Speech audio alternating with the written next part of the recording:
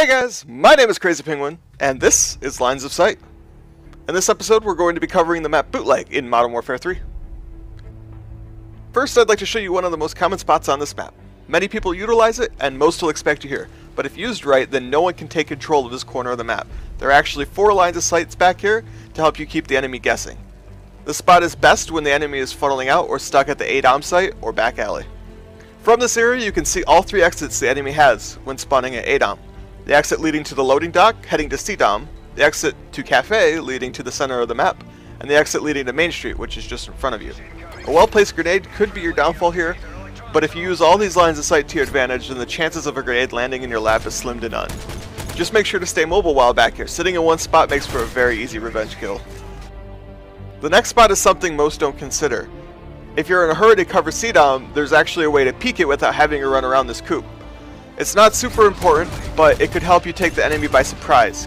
Keep in mind that there is a blind spot, and that they can capture the point while hiding behind this pallet of stone.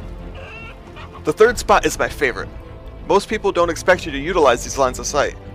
Using this area will help you control the most vital spot on this map. It's very important to control B-Dom, or the center of the map on any game type.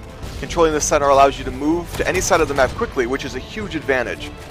From here, you can see B-Dom from under the truck, or into the middle of the map from on top of it or on a box next to it. You can also see people spawning in the far back by the stalls or the stalls building. There's even a little nook here to alert you of approaching enemies coming for a potential revenge kill.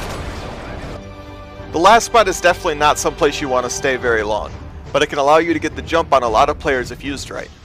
You can see enemies coming from the cafe or A-Dom, and also those above you near C-Dom. Keep in mind that when shooting through the grate it will take a few more bullets to put an enemy down, not to mention they'll be harder to see through with all the sparks that your bullets create. This spot is best on an opening route or when passing through. The center of this map is such a high traffic area and there are so many openings and exits that it's impossible to cover them all and you don't want to stay here long. Just keep in mind when passing through that this spot gives a bit of cover. That does it for Lines of Sight on Bootleg.